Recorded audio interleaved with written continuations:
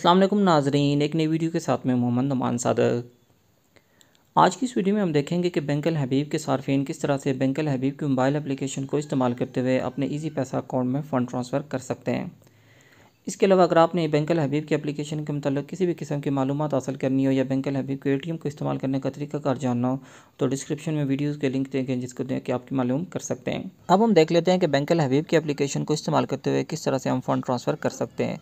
तो यहाँ पर फ़ंड ट्रांसफ़र करने के लिए आपने सिंपल फ़ंड ट्रांसफ़र वाली जो टैब बनी हुई है, इसके ऊपर आपने क्लिक करना होता है।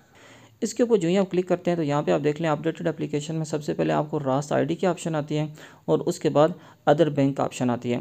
तो यहाँ पे फ़र्स्ट पे आप रास्त आईडी के ज़रिए ट्रांसफ़र कर सकते हैं और अदर बैंक ऑप्शन में या अदर पेमेंट ऑप्शन में आप जो बैंक अकाउंट वाला लगा के आप यहाँ पे फ़ंड ट्रांसफ़र करते हैं।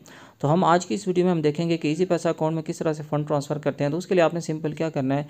इंस्टेंट ट्रांसफ़र वाले ऑप्शन के ऊपर आपने यहाँ पर क्लिक कर देना है। अब यहाँ पे इंस्टेंट ट्रांसफ़र वाले ऑप्शन के ऊपर क्लिक करके अब इजी पैसा के लिए आपने सिंपल क्या करना है? यहाँ पे आपको अदर बैंक की जो ऑप्शन है, इस ऑप्शन के ऊपर आपने यहाँ पे क्लिक करना होता है। इसी तरह अगर आप किसी भी दूसरे बैंक अकाउंट में फ़ंड ट्रांसफ़र करेंगे तो आपने यहाँ पे क्या करना होगा? अदर बैंक के ऑप्शन को यहाँ पे सिलेक्ट करना होता है। उसके बाद आपने सेलेक्ट बैंक नेम के टैब के ऊपर क्लिक करना होता है। यहाँ पे सारे बैंकों के नाम आ जाएँगे। तो ईजी पैसा में ट्रांसफ़र करने के लिए आपने यहाँ पे ईजी पैसा सर्च करना है या टेलीनार बैंक सर्च करना है। तो यहाँ पर आप लिख भी सकते हैं और सर्च भी कर सकते हैं। इजी पैसा अकाउंट या टेलीनार बैंक ये सिलेक्ट करने के बाद आपने सिंपल क्या करना है? यहाँ पे अकाउंट नंबर लिखना होता है।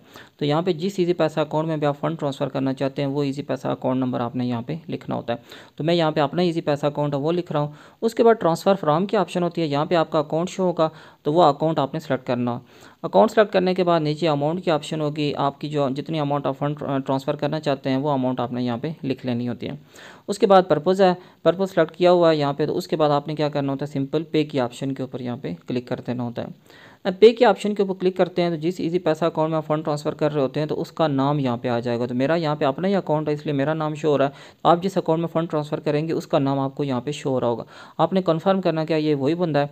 तो वो कन्फर्म करने के बाद आपने सिंपल ये नीचे कन्फर्म वाली जो टैब है इसके ऊपर आपने क्लिक कर देना होता है। अब इस तरह कन्फर्मेशन के बाद क्या होता है? आपके मोबाइल नंबर के ऊपर भी और आपकी ईमेल आईडी के ऊपर भी आपको एक वन टाइम पासवर्ड रिसीव हो रहा होता है।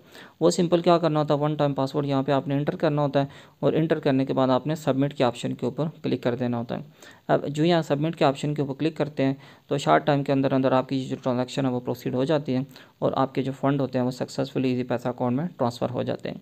इसी तरह से आप किसी भी दूसरे बैंक अकाउंट में जब फंड ट्रांसफ़र करेंगे तो उसका सेम प्रोसीजर होगा। जस्ट आपने अदर बैंक में जाके वो बैंक सेलेक्ट करना है, जिसके अकाउंट में आप फंड ट्रांसफ़र करेंगे और बाकी प्रोसीजर सेम ही है। जस्ट आपने अकाउंट नंबर लिखना होता है और अमाउंट लिखनी होती है, और उसके बाद वन टाइम पासवर्ड आ रहा होता है और वो आपने पासवर्ड एंटर करने के बाद इस तरह से ट्रांजेक्शन आपकी सक्सेसफुली प्रोसीड हो जाती है। तो ये थी हमारी आज की वीडियो के बैंकल अबीब के सार्फिन, किस तरह से बैंकल अबीब मोबाइल एप्लीकेशन को इस्तेमाल करते हुए ईजी पैसा अकाउंट में फ़ंड ट्रांसफ़र कर सकते हैं।